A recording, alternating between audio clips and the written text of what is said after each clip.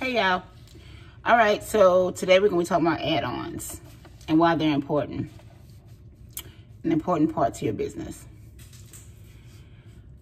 Number one, people love exclusive stuff, right?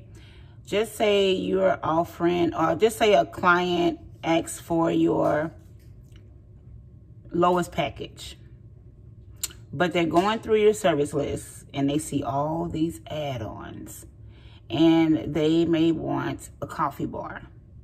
And the best way to sell a coffee bar and a beverage bar is all in the description because nobody wants their guests leaving their event being sloppy drunk, potentially hurting themselves, right?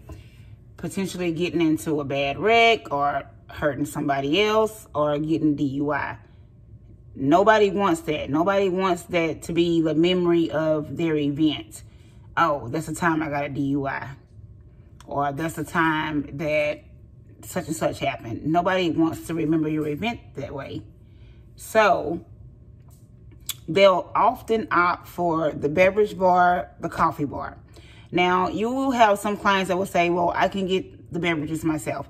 Me, When I say beverage bar, I mean water, Coke, ginger ale, um, teas, all of that.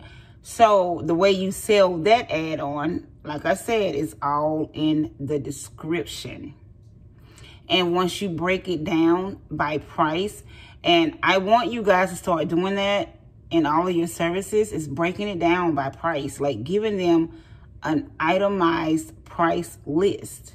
So they'll see that purchasing it through you is not only better, but cheaper getting it from you. Like they could take, they could go to Sam's and get it themselves, but most people that do parties, they don't really know like the, the, the logistics of things. They don't know. They'll probably go buy two 24 packs of water, right? 48 bottles of water. Now, if they have children at their event, just say for a wedding or something, they have like children at their event. We all know how kids waste. A child will walk up to that beverage bar, especially if it's unattended. They'll walk up to that beverage bar a million times in one night and grab bottles of water all night long and didn't even finish the bottle of water they had before. So that 48 pack of water is going to be gone before the night is over. So when it's time for the adults to leave and get ready to get in their cars, there is no more beverages left because the children done pretty much took over. And that also can happen with grown folks. They can go and get water, they never finish it, and they don't think to take it off the table and take it with them. No, they want to go get them a fresh bottle. But if you only have 48, that can only go to only go so far. Even if you only had like 75 guests, 48 bottles of water ain't going far. Period. So if you put it in your description or your proposal that way, or like I said in your description, that way, they were like, oh, well, I might as well, you know, go ahead and let them do the beverage bar because you guys know more than they know how much something is going to cost and how long something is going to last.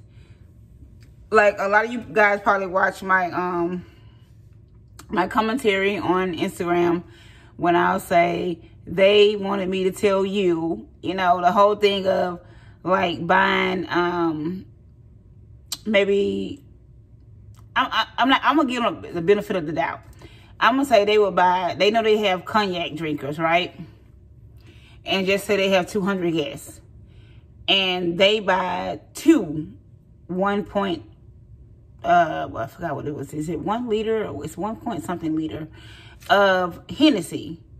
That's already done hit them in the pocket real hard, real hard. Cause I think like a, a 350 now, especially here in Texas, is like $65. So if they buying a liter, it's gonna it's gonna cost a pretty penny. But they're to cheap out and they only to buy two. And then they to buy all this other liquor that nobody want. Right? They're going to buy Malibu. They're going to buy uh, some type of tequila. And it depend, and then and then in these days it depends on what type of tequila you buy. So because they go out there and buy some some Cuervo. Now people may drink it if they don't have no other choice, but that ain't gonna be their first choice. And if they are true drinkers, they're not just gonna drink anything, right?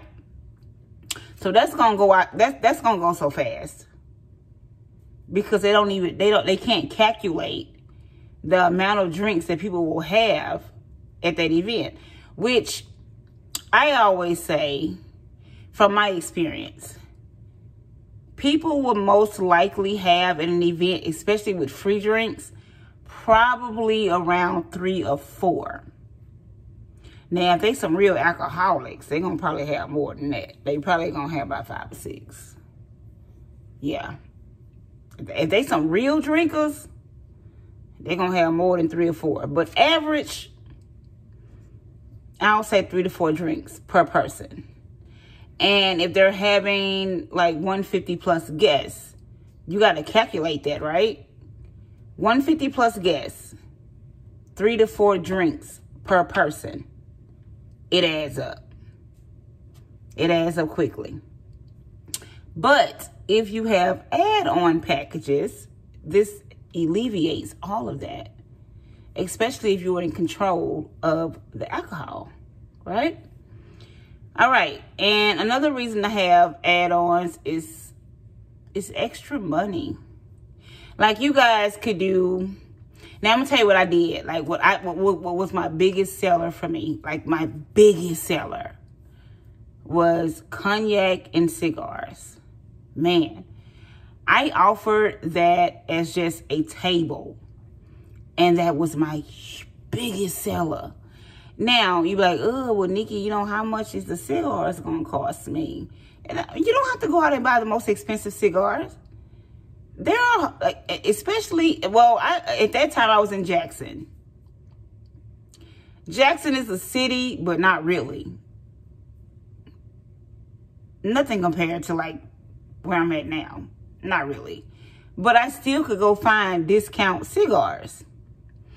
And again, if it is free, it may not be their brand. It may not be what they're used to, but they gonna smoke it. They gonna smoke it. It is what it is. So I would do cognac bars. And I would do um I guess it's still popular right now, but that was back in 2019. I was doing D'ussé, Remy, 1738, and Hennessy.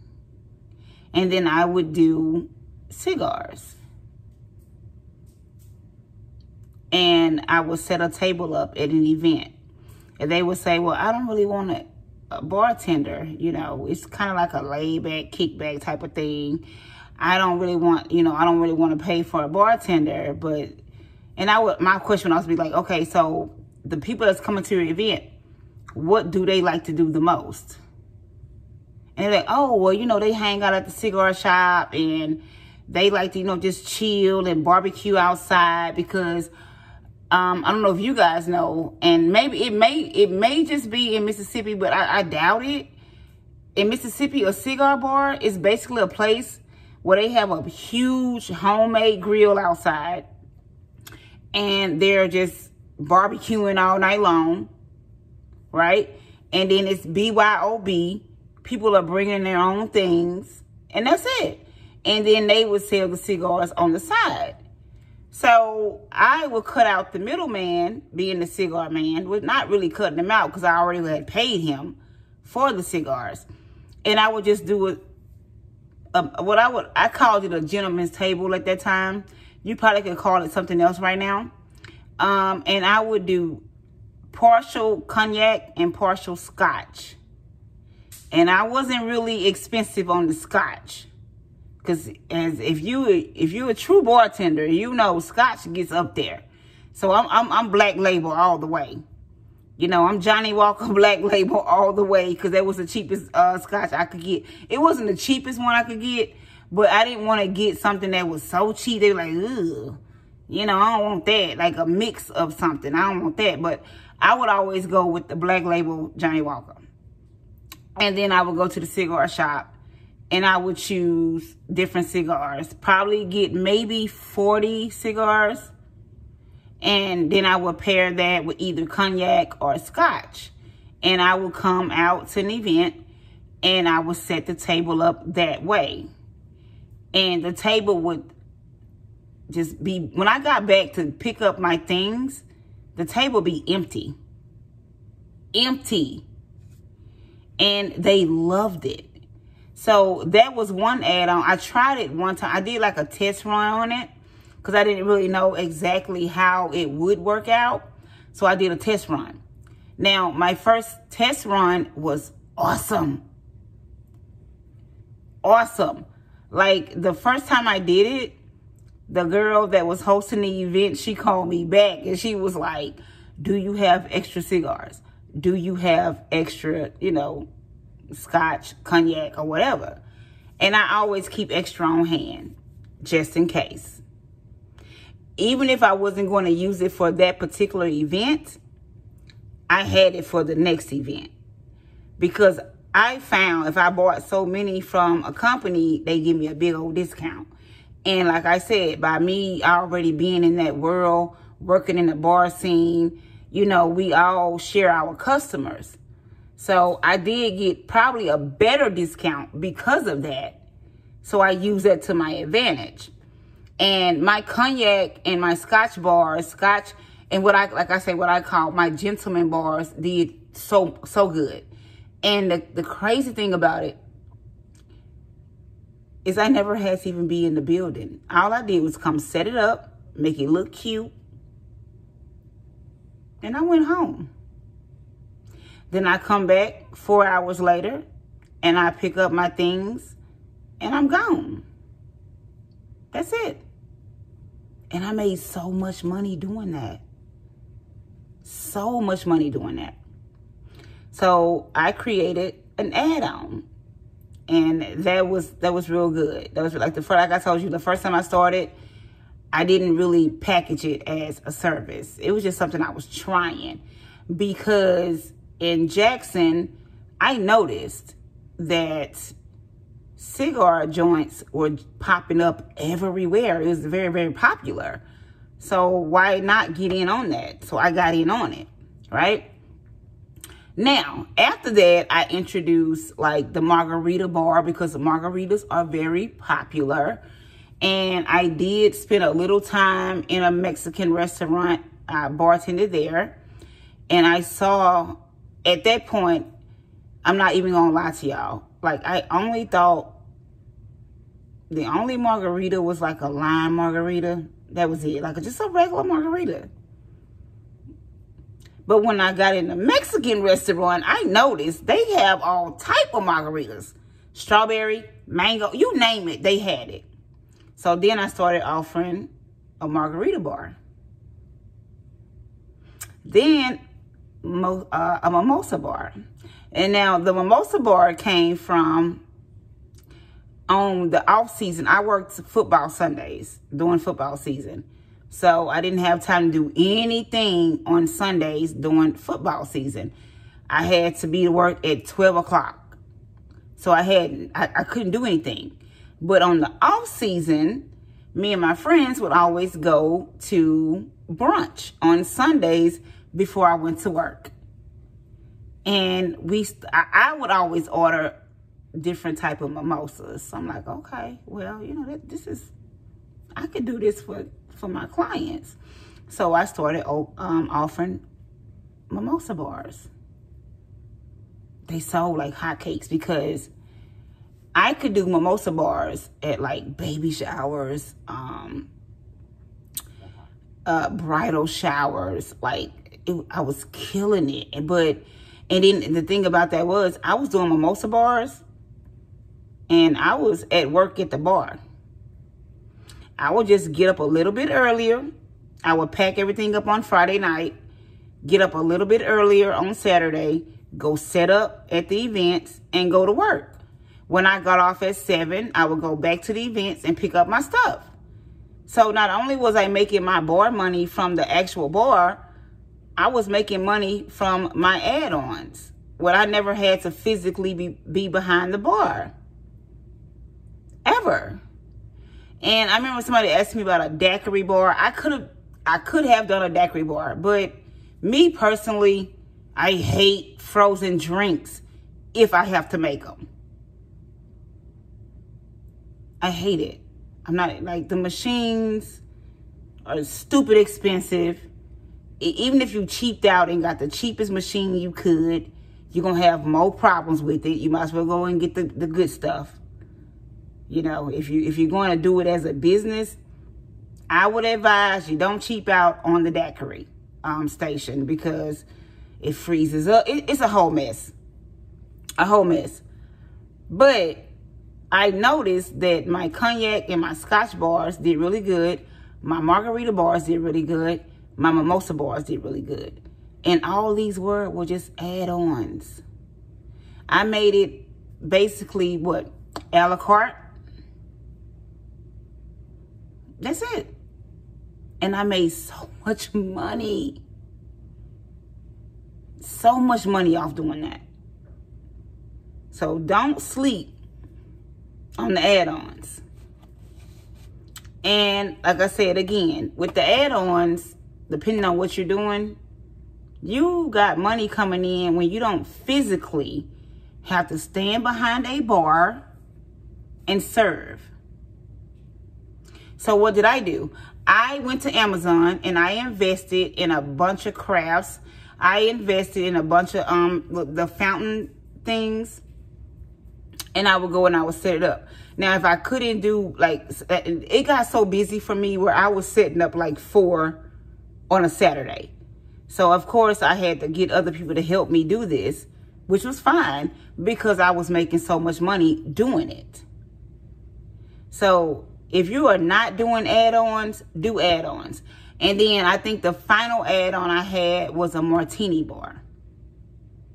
Man, that shit went bunkers bunkers. A martini bar? Bunkers. Bunkers. Like, people could make their own dirty martini, apple martini, Cosmo, peach martini. And then I came up with like every type of flavor it was. Anything that I could make into a syrup at my house, that was the base of a martini. And then Tito's, here in Mississippi, it's cheap here too. Not Mississippi, in Texas. It's cheap here too. But it was really cheap in Mississippi. And people preferred Tito's. So that was a good thing. And then we had another vodka, um, Cats. I think it was called Cats. And that was um, derived from Mississippi. So it was cheap also. So I didn't have to spend a lot of money on vodka. And that's how I did it. Now, for you guys that's wondering about, oh my God, you know, I can't really buy the liquor and do this. Okay, slim some money off the price and have the client purchase the alcohol and bring it home and pre-mix everything. That's what I did. So if you are not doing add-ons, I suggest that you get to doing some add-ons. Because you could be working another event and still just say you got one event on a Saturday, but not really, because if you're doing add-ons, you're doing these tables, and you're doing like four or five tables for that day, plus the events you got, that's six streams of income for one day. That's how I, and, and transparency, that's how I really got to six figures. That's how I really got to it. providing my services and not even being there. That's how I really got to the money. All right, guys, y'all know the drill. If you have a question, you have a concern, my number is at the top. My email is at the top. if you uh, you can't reach me, which you probably always can reach me, but if you just want opinions of people that's actually in the mobile bartending business now, because I'm not, I'm just teaching, go to the Facebook group, ask your questions, put it out there, and let's go. All right, I'll see y'all in the next video. Peace out.